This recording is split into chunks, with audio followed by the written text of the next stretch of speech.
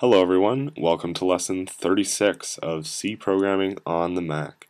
In this tutorial I'm going to be covering or doing a little introduction to files in C. And basically what a file allows you to do is save information to the file so that you can reuse it for next time or just read information from a file, whatever your program needs to do. But uh, basically that's something we haven't learned yet because every time we've run a program so far the memory is it's just saved in memory and then it's gone every time we rerun it. So that's why files are nice because you can save information that you might want to use next time. So that's why uh, we're going to be covering files. So uh, to start out we obviously need to create the file where we're going to save all this information. So to do this we can go up into the file menu and go to new file which is also command N for short and we can also do this by going to the action button and just doing add new file. Either way, you come up with the same menu and under Mac OS 10 and other, or the subheading of other, whatever, um, we have a bunch of files here, but what, the one we're interested in is this empty file. And just because empty file doesn't give any um, other important information about the file, it just uh, reads you the information that's on it which is nice for these tutorials. So let's just hit next and we'll call it data and go to finish. So now you can see that Xcode opens up the data file and you're able to edit whatever is in the file, which is nice as well. So we can just say in the data file, um, if you enjoy these tutorials, please subscribe to Apple Programming. And you can leave a short little message like that, and um, people will hopefully listen to the message. Anyway, um, if once you're done with that, uh, you can go to File Save or just do Command S to save the file. And now we can go back into our main.c file. So in here, we have to do one pound define before we get started, and this is going to be the file location. So I'm just going to call it k file location. And the file location is found just by a string. And to do this, you have to kind of understand how computers read, uh, how they can find the path of a file. So files in a current directory, which means basically the same folder as the project or whatever you're working on, um, basically this uh, means that it's in the same file and or in the same folder rather as the thing you're looking for. So if I was to look for this data file, this means that the data file that I'm looking for should be able to, should be found in the same folder that the programs run in. So you would think that um, with that logic, here's the Xcode project, here's the data file, and they're both in the same folder, so all should be good. However, the Xcode project file really is not where the, the actual program is run. It holds random bits of information, but it's not where the actual program is executed.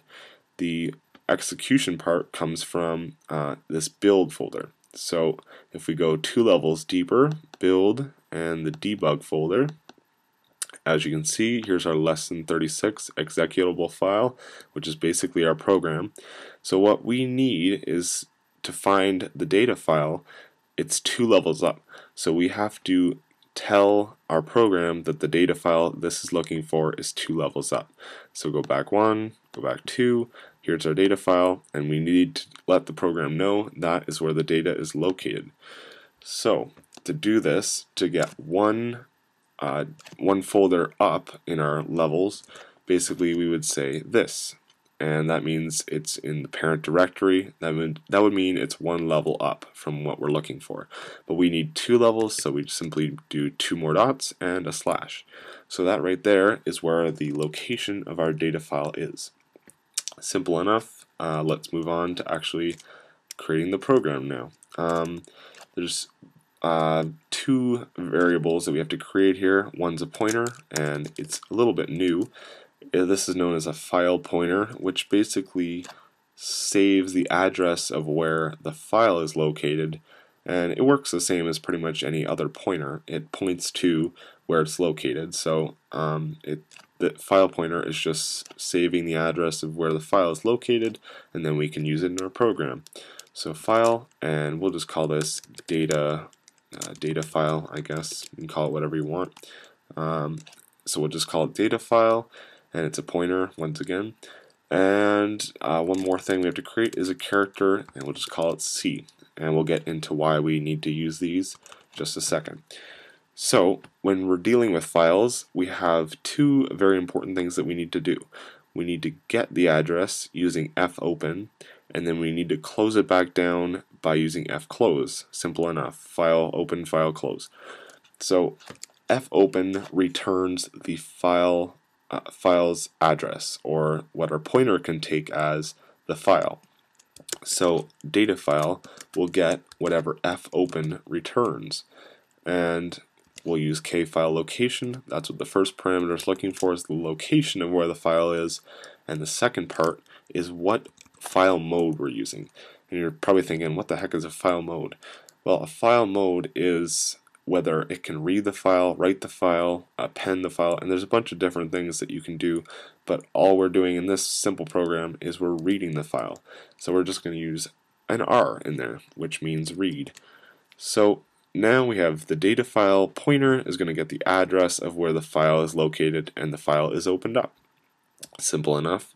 Um, but what if the file doesn't exist? What happens if uh, we screwed up with our file location or the file isn't even there? Then we're going to run, run into pro some problems. So what we have to do is create an if statement. And there's different ways you can do this, but uh, if statement's pretty easy, I guess.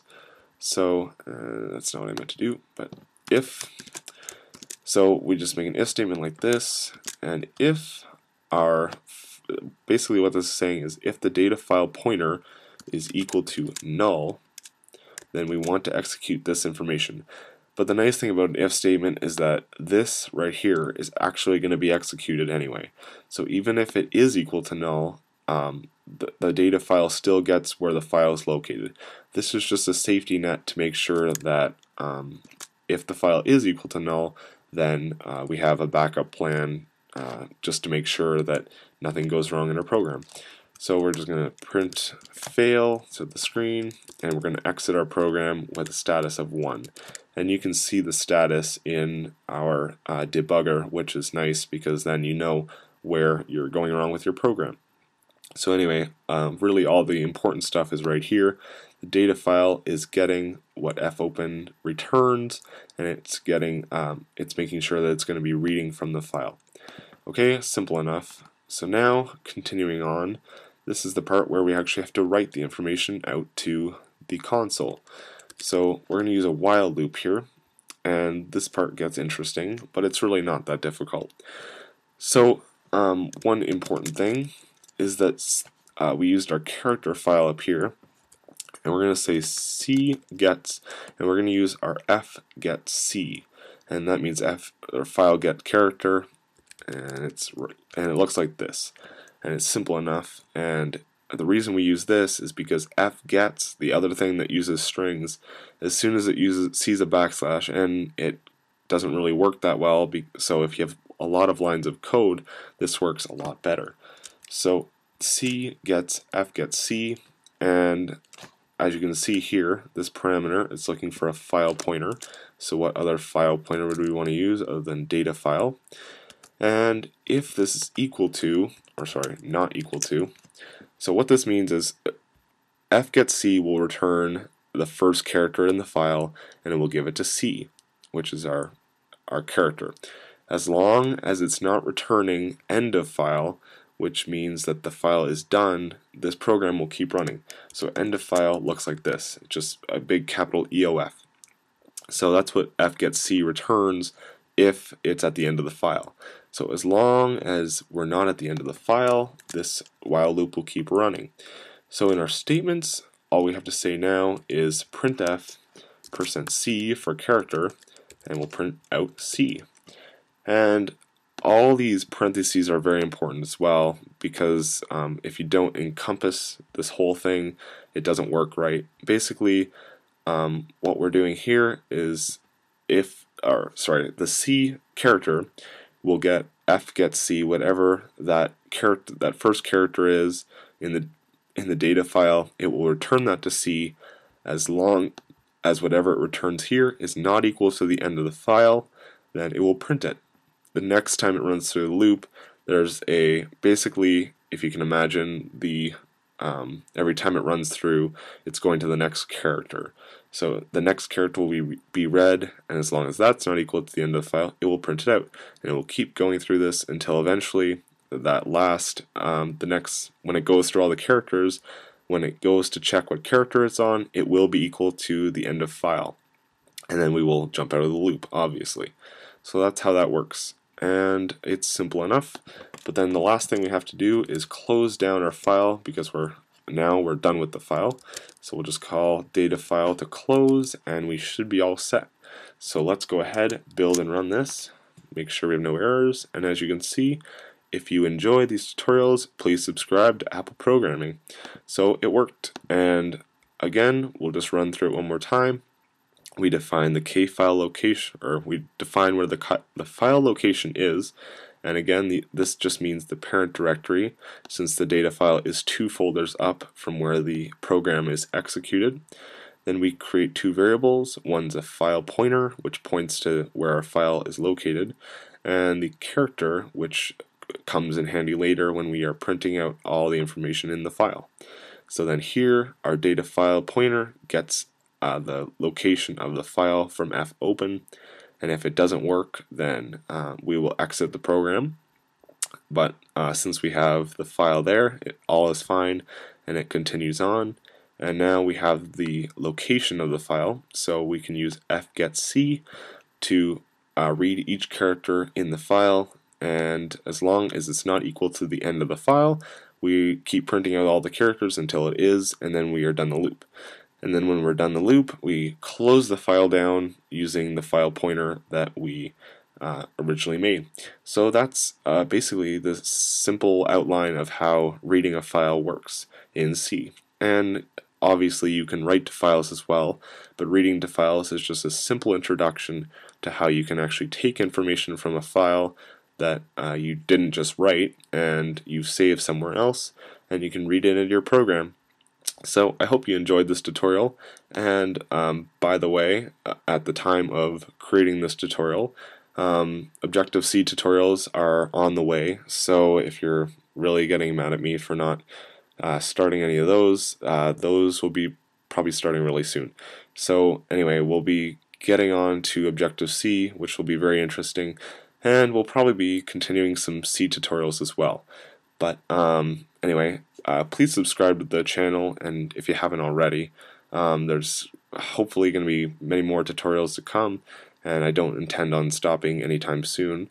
So, um, and yeah, if you have any questions on this tutorial, just leave your questions in the comments and rate the uh, video a thumbs up if you approve.